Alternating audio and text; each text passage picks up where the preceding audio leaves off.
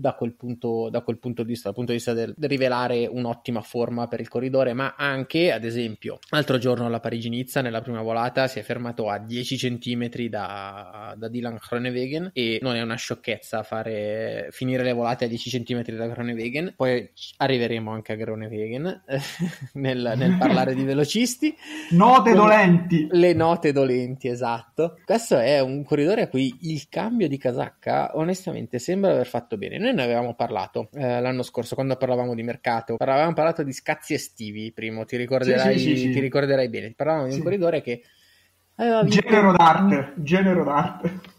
Un genere d'arte che aveva vinto pochino durante, durante, l'anno. Poi dopo c'era stata tutta la querel con la squadra che lo aveva lasciato fuori dal tour. Di fatto lui per due mesi non ha più corso. E poi insomma le prestazioni sono state, sono state quelle che sono state nel finale di stagione dell'anno scorso. È, è ripartito con le pile decisamente cariche Caleb Ewan e appunto la volata del, dello scorso anno lascia pensare che sia un cliente pericolosissimo per tutti quanti. Per chi non se lo ricordasse, l'anno scorso non ha vinto la volata del gruppo, ha letteralmente staccato gli avversari durante la volata. Non so se ti ricordi prima. Sì, ci si pose anche il problema relativo alla, al piglio con cui quella volata venne affrontata, perché in tanti dopo, dopo tanti chilometri di sbattimento sapevano che si competeva per il secondo posto, però non credo che un secondo posto alla Milano-Sanremo sia stato su cui tanti eh, su cui tanti sputano, quindi eh, secondo me quella volata è stata affrontata seriamente, eh, Iwan in quella volata è risultato dominante, personalmente ne rimasi particolarmente stupito, se non altro per il fatto che è corridore che non presenta in, eh, in curriculum eh, dei, delle eccellenti prestazioni su lunghi chilometraggi, però qualcosina c'è perché il Giro d'Italia 2017, la tappa che arrivava da Alberobello, 224 km, volata su Gaviria, su Sam Bennett, eh, quindi eh, qualcosina effettivamente c'è. A quella volata da Alberobello si somma la prestazione dell'anno scorso, secondo me corridore che è in crescita, eh, una volata come quella dell'anno scorso può assolutamente replicarlo. Primo, vuoi parlare prima delle eccezioni o prima delle note dolenti? Parliamo prima delle note dolenti. Parliamo prima delle note dolenti. Se ti garba. E, e, veniamo, e veniamo a Dylan Groenewegen. Adesso, se quella su, su, Viviani era una domanda difficile e la tua risposta, ti ripeto, mi ha lasciato impressionato, adesso veniamo a una domanda ancora più difficile. Perché verosimilmente Dylan Groenewegen non sarà al via della Milano-Sanremo? Ad oggi i suoi programmi dicono che non ci sarà. Bisogna prendere un telefono, chiamare in casa l'otto e nel giambo e ottenere una risposta che sia risposta esaustiva alla programmazione di questo ragazzo. Devo riportare le parole di un mio caro amico si chiama Giacomo Ligli, i nostri ascoltatori sicuramente lo conosceranno, che pomeriggio ha detto ma che cosa gli costa portarlo al via? Al limite lo buttano in mischia, si stacca sul poggio, pace. Cioè effettivamente che, che, che, cos- che male può fare a Dylan Groenewegen partecipare alla Milano-Sanremo, provare a superare quel poggio, cioè che cosa gli cambia nell'economia della stagione, in un percorso di preparazione che l'abbiamo detto anche in passato analizzando le ruote veloci, mm, abbiamo fatto una puntata l'anno scorso se non sbaglio, c'è un obiettivo Parigi-Roubaix, c'è un obiettivo di crescita graduale di questo corridore. Il ragazzo che ha vinto il Fiandre Under 23. Che cosa cambia? Cosa cambia? È un delitto, è un delitto, è delittuoso non schierarlo al via, è delittuoso, è delittuoso. Guarda, secondo me lo era l'anno scorso, cioè, eppure ci dicevamo, ma sì, si vede che insomma la preparazione a cui è volto eh, lo, lo, porta di più verso, verso altri tipi di corse. Poi quest'anno, ad oggi, No, ma nei suoi programmi non solo non c'è la Sanremo, ma non ci sono neanche il Fiandre e la Rube. Lo stanno dirottando verso l'essere un velocista nudo e crudo. Penso che si capisca cosa, cosa intendo. Però in che modo per un corridore di queste caratteristiche la Sanremo è preclusa? Io lo so che lo è stata preclusa per Kittel, ad esempio, che ci ha provato, ha fatto una figura barbigna, ma 100 Kittel piuttosto che un Groenewegen non so se è colpa sua, ma almeno Kittel ci ha provato. È venuto, è venuto almeno a Sanremo, ha detto: Vabbè, eh, io non, non, ce la faccio. Cioè, quei chilometri lì sono troppi per me. Il Capoberta è troppo duro per me. Cavendish l'ha vinta a Sanremo. Cavendish, cioè un altro corridore che è monodimensionale, bravissimo in quello che fa, era, ma pur sempre monodimensionale. Giacomo, io non so che cosa accadrà il 23 marzo, se non che se tutto va per il verso giusto dovrei essere da quelle parti. Quindi, no, questa sarebbe la mia unica certezza ad oggi.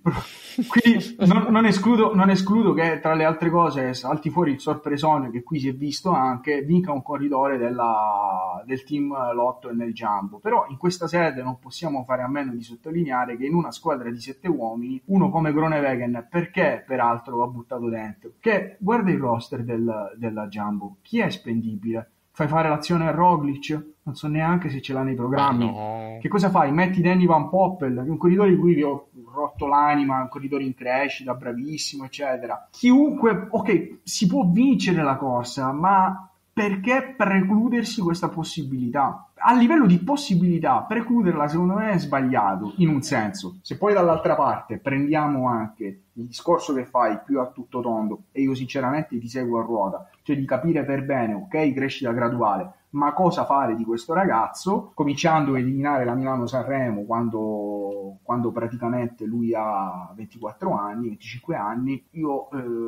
onestamente non, non, lo so, eh, su gestione eh, olandese che a volte mi sembra assolutamente pertinente sul pezzo, acuta, ripeto, non riesco a spiegarmelo, tengo la battuta che ho fatto in precedenza, occorrerebbe alzare il telefono, chiamarli e dirgli spiegatemelo perché probabilmente avrete una, una chiave di lettura che è, è assolutamente corretta, però fornitecela perché con gli strumenti attuali non, non, si può non, non, individuare questa scelta come non, non, classificare questa scelta, scusate, come una scelta dissennata. Sì, sì, tra l'altro stavo, stavo guardando, cioè quel uh, Giro delle, delle, Fiandre lo vinse su corridori comunque di buon livello, cioè lo vinse su uh, Scherping, no, non, non, mi riferivo a lui quando farò di, corri- di, corridori di buon livello, ma terzo e quarto furono Tish Benoit e uh, Owen Dole. Eh, ha mostrato veramente di poter mettere in campo delle qualità per le classiche in passato e tra le categorie giovanili, ma se non è detto che debba essere così tra, tra i professionisti e t- tante volte è così effettivamente, non si riesce a confermare quanto sia fatto tra i giovani, tra i pro, almeno fatelo provare, ah, sto ragazzo. Scusa, cioè, magari chiudo su, con un, un punto, non... ma la corsa di eh, settimana passata, vinta da Bobby Jungels, ce la ricordiamo? Sì. È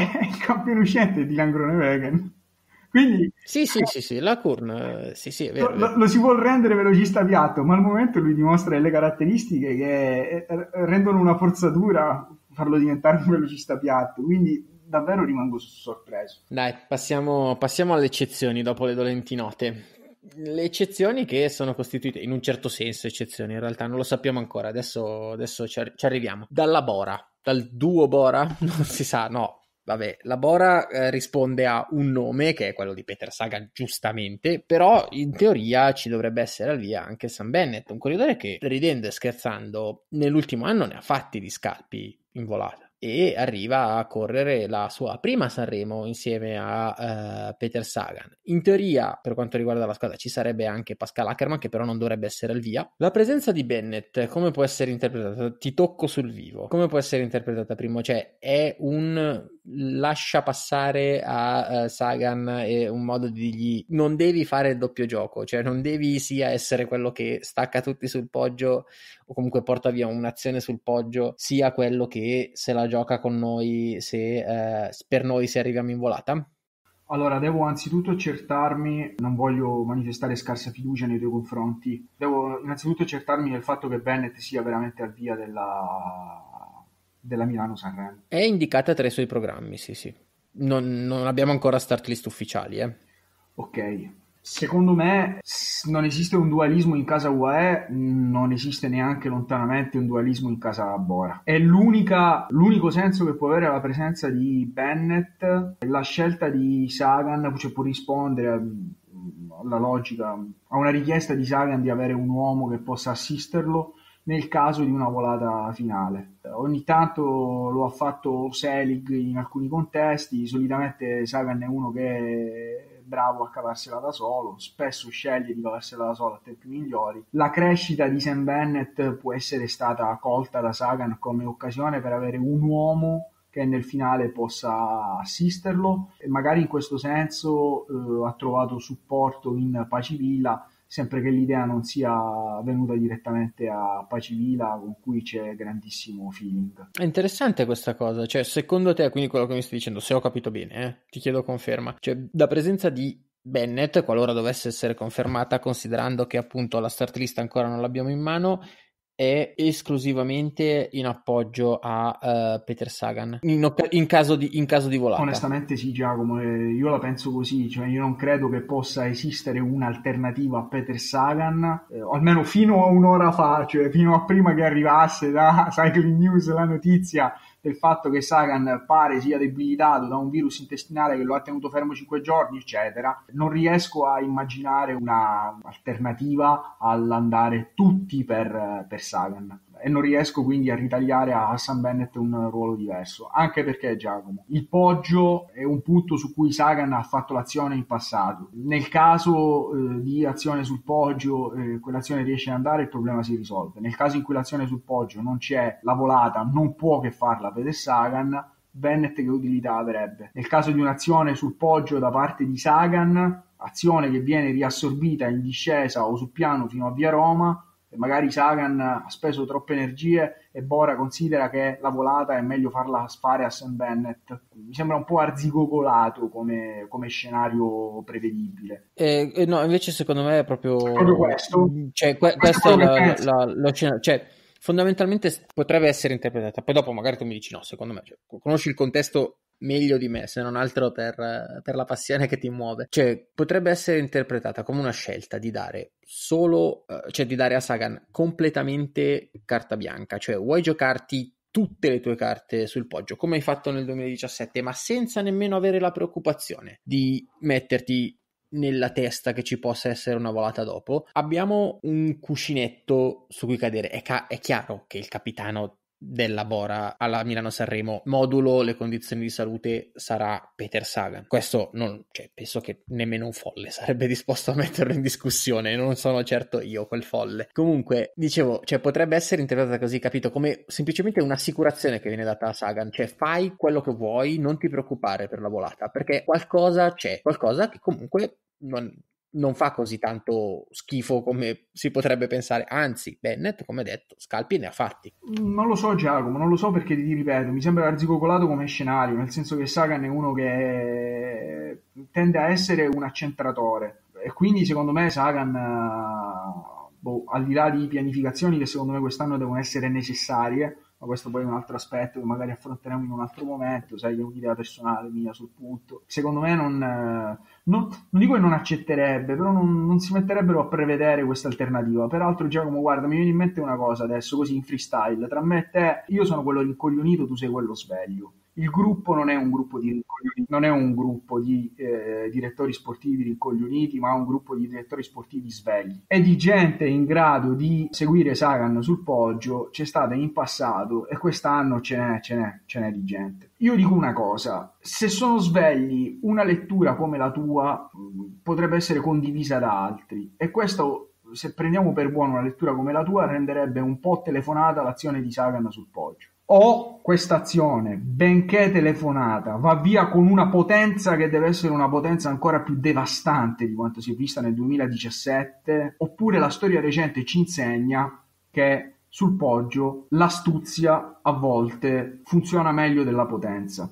Quindi io onestamente ho difficoltà a prendere per buona questa lettura. Ma ripeto, è un indizio comunque ed è un aspetto su cui occorre ragionare perché nel caso in cui Sagan voglia Bennett per giocarsi la volata, apre la possibilità, apre comunque degli, eh, degli scenari di speculazione interessanti, perché un Sagan che decide che sia la volata la strada da seguire per vincere finalmente la Milano-Sanremo è una cosa che mi lascia perplesso, onestamente. Questo rischierebbe di aprire, ti ripeto, una, un capitolo che po' scantona diciamo, dalla, dalla, volata lunga che abbiamo deciso di fare con la lettura della, della volata come scenario possibile della Milano-Sanremo, ci porterebbe fuori tema. Dico soltanto che eh, al punto in cui siamo, secondo me, non è, non è, la migliore delle scelte per portare a casa la Benetta Milano-Sanremo. Bene, siamo arrivati al termine di questa volata lunga slash azione da finisher alla Andre H. Mill del, in vista della Milano Sanremo 2019. Versione gentleman però, senza versione, versione gentleman, aspetta di sentire i titoli di coda.